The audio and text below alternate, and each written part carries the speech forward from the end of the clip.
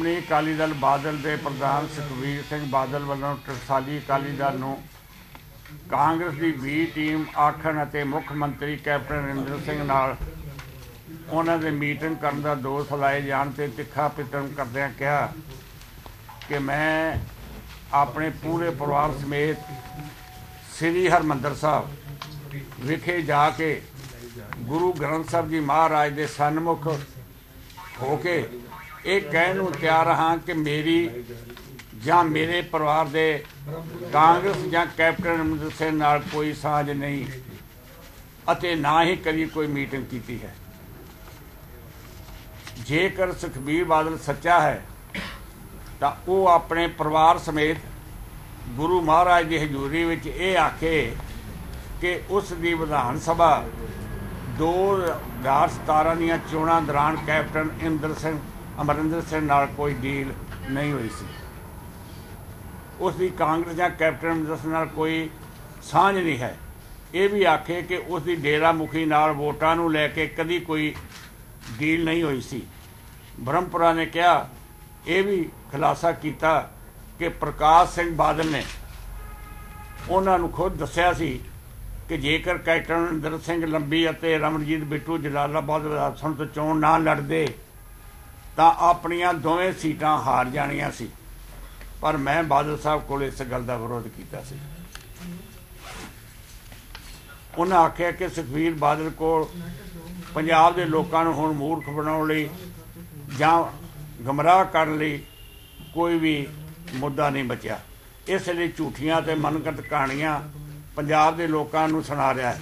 ਰਣਜੀਤ ਸਿੰਘ ਬ੍ਰਹਮਪੁਰ ਨੇ ਸੁਖਬੀਰ ਬਾਦਲ ਨੂੰ ਸਵਾਲ ਕੀਤਾ ਕਿ ਕੀ ਕਾਰਨ ਹੈ ਕਿ 10 ਸਾਲ ਪੰਜਾਬ ਨੂੰ ਲੁੱਟਣ ਵਾਲੇ ਪਰਿਵਾਰ ਕੋਲੋਂ ਕੈਪਟਨ ਅਮਰਿੰਦਰ ਸਿੰਘ ਨੇ ਇੱਕ ਵਾਰ ਵੀ ਪੁੱਛਗਿੱਛ ਕਰਨੀ ਮਨਾਸਬ ਦੀ ਨਾ ਸਮਝੀ ਅਤੇ ਸਾਬਕਾ ਮੁੱਖ ਮੰਤਰੀ ਪ੍ਰਕਾਸ਼ ਸਿੰਘ ਬਾਦਲ ਨੇ ਆਪਣੇ ਸਰਕਾਰ ਦੌਰਾਨ ਕੈਪਟਨ ਅਮਰਿੰਦਰ ਸਿੰਘ ਖਿਲਾਫ ਭ੍ਰਿਸ਼ਟਾਚਾਰ ਦੇ ਦਰਜ ਕੇਸ ਵਾਪਸ ਲੈ ਲਏ ਸਨ।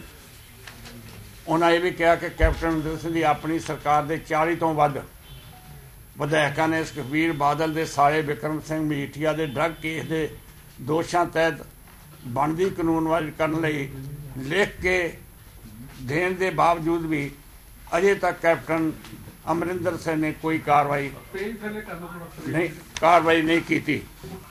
ਸੁਖਬੀਰ ਬਾਦਲ ਨੇ ਵਿਕਰਮ ਮਜੀਠੀਆ ਤੇ ਨੇ ਕੈਪਟਨ ਅਮਰਿੰਦਰ ਸਿੰਘ ਦੇ ਖਿਲਾਫ ਕਦੀ ਵੀ ਕੋਈ ਬਿਆਨਬਾਜ਼ੀ ਨਹੀਂ ਕੀਤੀ ਤੇ ਇਸ ਤੋਂ ਸਪਸ਼ਟ ਹੁੰਦਾ ਕਿ ਦੋਵੇਂ ਪਰ ਆਪਸ ਵਿੱਚ ਇੱਕ ਮੁੱਖ ਹਨ। ਬ੍ਰਹਮਪੁਰਾ ਸਿੰਘ ਬਾਦਲ ਗੱਲ ਇਹਨਾਂ ਸਵਾਲਾਂ ਨੂੰ ਲੈ ਕੇ ਖੁੱਲੀ ਬਹਿਸ ਕਰਨ ਦੀ ਚੁਣੌਤੀ ਦਿੰਦਿਆਂ ਕਿਹਾ ਕਿ ਉਹ ਮੀਡੀਆ ਸਾਹਮਣੇ ਸੁਖਬੀਰ ਬਾਦਲ ਨਾਲ ਬਹਿਸ ਕਰਨ ਨੂੰ ਤਿਆਰ ਹਨ। ਉਹਨਾਂ ਕਿਹਾ ਕਿ ਕੈਪਟਨ ਅਮਰਿੰਦਰ ਸਿੰਘ ਤੇ ਬਾਦਲਪੁਰਾ ਲੋਕਾਂ ਨੂੰ ਹੋਰ ਜ਼ਿਆਦਾ ਗੁੰਮਰਾਹ ਨਾ ਕਰਨ।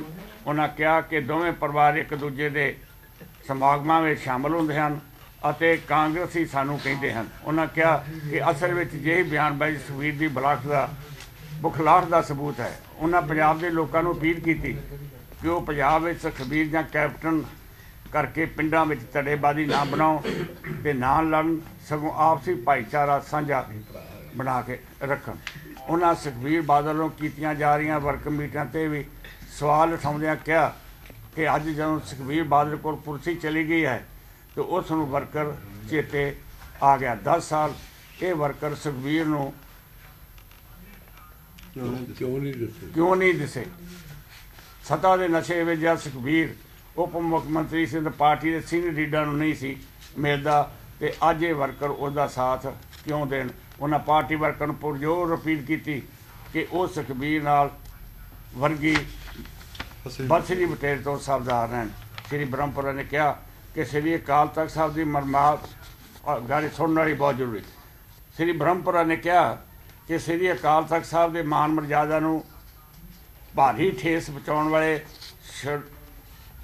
ਸ਼੍ਰੋਮਣੀ ਕਮੇਟੀ ਦੀ ਕਾਰਜ ਕਰਨੀ ਨੂੰ ਰਾਸੀ ਕਰਨ ਵਾਲੇ ਪਖੰਡੀ ਸਾਧ ਨੂੰ ਬਿਨਾਂ ਮੰਗਿਆ ਮਾਫੀ ਦੇਣ ਵਾਲੇ ਬਾਈਬਲ ਕਲਾ ਤੇ ਬਰਗਾੜੀ ਵਿਖੇ ਵਾਹਿਗੁਰੂ ਜੀ ਦਾ ਜਾਪ ਕਰ ਰਹੇ ਗੁਰਸਿੱਖਾਂ ਦੇ ਗੋਲੀਆਂ ਚਲਾ ਕੇ ਸਿੰਘਾਂ ਨੂੰ ਸ਼ਹੀਦ ਕਰਨ ਵਾਲੇ ਤੇ ਦਰਜਨਾਂ ਸਿੰਘਾਂ ਨੂੰ ਜ਼ਖਮੀ ਕਰਨ ਵਾਲੇ ਸਤਾ ਸਮੇਂ ਭਾਰੀ ਲੁੱਟ ਖਸੁੱਟ ਕਰਨ ਵਾਲੇ ਪੰਜਾਬ ਦੀ ਆਰਥਿਕਤਾ ਨੂੰ ਤਬੀ- ਤਬਾਹ ਕਰਨ ਵਾਲੇ ਬਾਦਲ ਪਰਿਵਾਰ ਨੂੰ ਪੰਜਾਬ ਦੇ ਲੋਕ ਮੂੰਹ ਨਾਲ ਲਾਓ ਸਾਂਝ ਸਾਡੀ ਆ।